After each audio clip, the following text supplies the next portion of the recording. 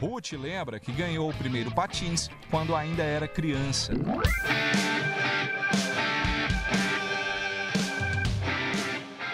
Quando eu era pequena, minha mãe me deu um patins de, de inline, assim, de correr de rua. Aí meu irmão era o street, aí eu ficava olhando meu irmão andando, aí eu falei, ah, eu quero fazer isso aí também, né? Aí quando eu voltei mesmo a andar, com, eu animei mesmo a andar de street, aí eu comprei um e agora tô aí animando. Antes era só brincadeira, hoje ela faz isso.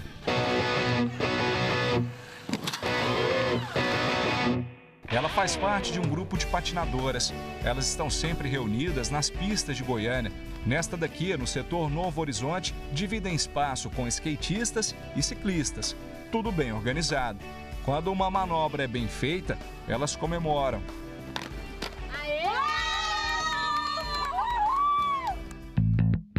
A Babi, de 22 anos, é uma das mais animadas. Quando a gente tá no meio da galera, a gente quer animar a galera e ainda mais quando todo mundo acerta a manobra aí, nossa, é a animação total. Há cinco anos, Cris descobriu a patinação. Além de se divertir muito, ela garante que patinar é uma excelente atividade física procurei academia, porque eu queria malhar para endurecer perna e barriga, assim como a maioria das mulheres, só que eu achei ruim a academia, achei uma obrigação. Eu lembrei quando era criança patinava, era bom, era divertido, voltei a patinar, descobri que existia pista, nem sabia, descobri que existia patins profissional, que existia proteção. Aí começou com esse intuito de malhar, mas virou um hobby. Nesse grupo só tem mulheres, elas se apoiam e treinam juntas. Servem também de inspiração para a futura geração de patinadoras goianas. Júlia, você se inspira nas meninas? Uhum. Elas são as melhores daqui que eu já vi. E o que você pretende ser e quer ser quando você crescer, for mais velho? Patinar muito e ser uma artista.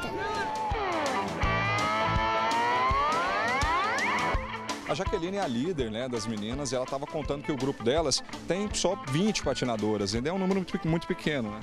É pequeno, eu queria até convidar quem quiser estar tá participando com a gente aqui do Patins, pode estar tá vindo, vai ser bem-vinda, a gente ajuda, a gente é um grupo e está aqui para fortalecer, para crescer.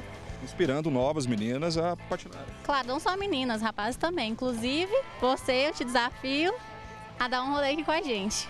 Mas eu nunca patinei na minha vida, nem quando eu era menino. Não, mas sempre tem a primeira vez, a gente, a gente ajuda. Vocês me ajudam aí?